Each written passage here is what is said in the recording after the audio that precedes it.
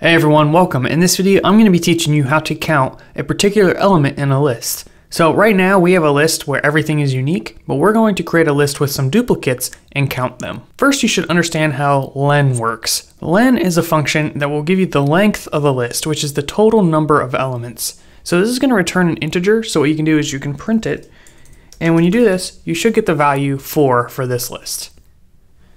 So that is how you count all of the elements. We know there's a total of 4 elements.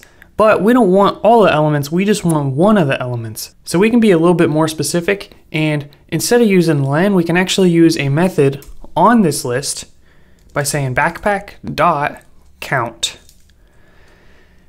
Count here is going to take one piece of data and that is the string in this case that you are looking for. So if we are looking for sword, we can put that in there and when we run this we should get the value 1. That's because there's one sword in our backpack.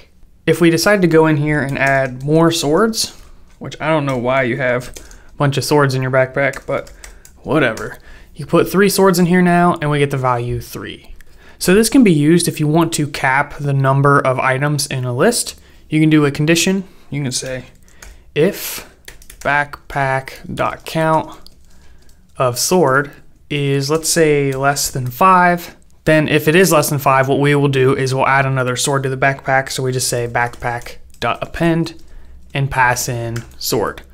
So this is how you can dynamically cap the number of elements. Anytime you want to add, you can check to see if it's under some number. I'm not entirely sure why you'd want to do this, but just throwing that out there. If you wanted to cap it to just one, well, in that situation, there's actually another data structure you can use, and that is a set. And we're going to be talking about that really soon. The only other thing I wanted to throw out there is that if you're ever doing a check to see if the count is greater than or equal to 1, well, there's actually an easier way you could do this, and all you would have to do is say if sword in backpack, which we already talked about earlier on in the series, but this is basically going to see if the count is 1 or higher. Basically, it'll just go through the list. If it sees sword, it's going to break.